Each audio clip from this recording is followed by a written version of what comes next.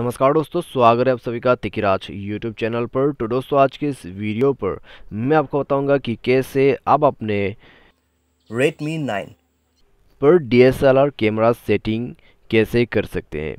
ठीक है तो दोस्तों यहाँ पर डी DSLR कैमरास पर होते क्या क्या है वो आप पहले जान लीजिएगा। उसके बाद दोस्तों यहाँ पर समझिएगा कि आपको सेटिंग किस प्रकार से करना है कैसे आपको DSLR कैमरा का व्यू मिलेगा आपके फ़ोटोज़ पर। ठीक है? तो आज के इस वीडियो पर हम यही चीज़ बात करने वाले तो दोस्तों, अगर आपको भी जानना है कैसे ये सेटिंग आप कर सकते हैं पॉसिबली वॉइस तो आप वीडियो को पूरा ज़रूर देखना। वीडियो शुरू करने से पहले चैनल को सब्सक्राइब नहीं किया है तो सब्सक्राइब करके बेल आइकन को क्लिक ज़रूर कर लेना। यदि आपको ऑनलाइन पैसा कमाना है तो वीडियो डिस्क्रिप्शन पर आपको लिंक मिल जाएगा। किसी भी प्रॉब्लम के रिगार्डिंग पर आप हमें ट्विटर पर फॉलो करके मैसेज ज़रूर करें। तो चलिए वीडियो शुरू करते हैं। तो दोस्तों सबसे पहले तो दोस्तों यहाँ पर मैं अपना कैमरा को ओपन कर लेता हूँ और यहाँ पर दोस्तों मैं आपको सेटिंग बता देता हूँ, ठीक है? तो यहाँ पर दोस्तों मैं अपने एक दूसरे मोबाइल पर जो है व्यू ले रहा हूँ फ़ोन का, ठीक है? तो दूसरे जो मोबाइल है उसका व्यू ले रहा हूँ। तो यहाँ पे दोस्तों आपको सबसे पहले तो करना क्या है, आप पोर्ट्रेट मोड को सेलेक्ट कीजिए। और दोस्तों डीएसएलआर पे होता क्या है? बैकग्राउंड ब्लर होते हैं। कैमरा क्वालिटी अच्छे होते हैं, कैमरा का फोकस अच्छा रहता है, ठीक है? तो वो होते हैं D S L R camera settings. और दोस्तों ऐसा नहीं है कि सभी डिवाइस, सभी डी एस एल आर पे कि कैमरा के बैकग्राउंड जो है ब्लरी होते हैं, ऐसा नहीं है। वो दोस्तों सेटिंग की वजह से ऐसा होते हैं।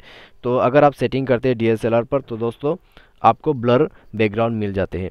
ठीक उसी तरह आपको अगर ब्लर बैकग्राउंड चाहिए डीएसएलआर कैमरा के सेटिंग के साथ तो आपको ये पोर्ट्रेट मोड सेलेक्ट करना होगा। क्योंकि दोस्तों पोर्ट्रेट मोड ऐसा मोड है जो कि आपको बैकग्राउंड ब्लर में ही दिखाई देगा।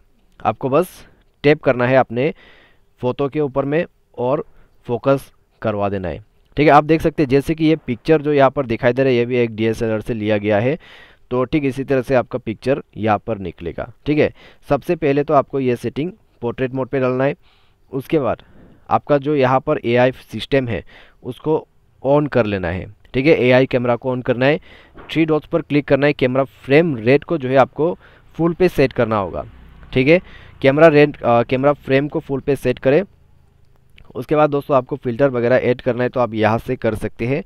ठीक है? कुछ आपके जो फ़ोटो क्वालिटी है, उसमें ब्यूटी आ जाएगा। फ़िल्टर्स आपको यहाँ पर मिल जाएगा। तो आप दोस्तों यहाँ पर देख सकते हैं किस तरह का आपको फ़िल्टर चाहिए, वो आपको यहाँ पर मिल जाएगा, ठीक है? ब्यूटी आप सेट कर सकते हैं। उसके बाद दोस्तों, आप एक बहुत ही अच्छा फोकस लेके यहाँ पर आप कैमरा को यूज़ कर पाओगे। उसके बाद कैमरा सेटिंग पर क्या है, आइए देखते हैं कुछ। काम का चीज़ यहाँ पर मिल जाते हैं तो अच्छी बात है। तो दोस्तों ओपन करती यहाँ पर एक चीज़ दिख गया मुझे, ये मौत फोकस एंड शूट इसको इनेबल करना ना भूलें। ठीक है?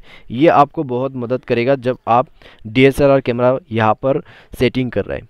क्योंकि दोस्तों यहाँ पर आपका जो फ़ोटो है उसको यहाँ पर फोकस भी किया जाएगा और शूट भी करेगा। ठीक है? तो बस ये सेटिंग आप यहाँ से इनेबल कर ले।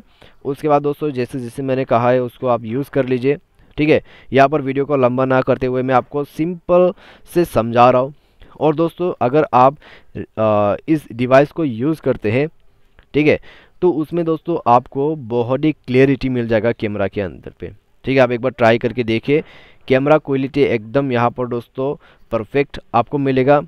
थोड़ा सा दोस्तों प्रैक्टिस करने के बाद आपको परफेक्ट शॉट मिल जाएगा आपकी कैमरा पर। पोर्ट्रेट मोड यूज़ करें। अगर आपको जो है दोस्तों यहाँ पर डीएसएलआर के बैकग्राउंड जैसा चाहिए अगर आपको दोस्तों नॉर्मल बैकग्राउंड चाहिए तो दोस्तों 48 मेगापिक्सल को भी आप यूज़ कर सकते हैं। इससे काफ़ी अच्छा क्वालिटी आपको मिल जाते हैं आपके फ़ोन पे। ठीक है 48 megapixel ultra wide H D is on यानी कि अल्ट्रा वाइट कैमरा एंगल से आप पूरा पिक्चर को क्लिक कर सकते हैं। ठीक है तो आप ये भी यूज़ कर सकते हैं। अगर आपको नॉर्मल पिक्चर क्लिक करना है, वो भी डीएसएलआर मोड पे। तो दोस्तों, ये सेटिंग आपको मिल जाते हैं, इसको यूज़ करके देखिए। बहुत ही कमाल का सेटिंग है।